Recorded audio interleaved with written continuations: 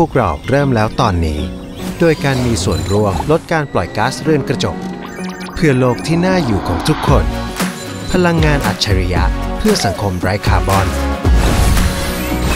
PEA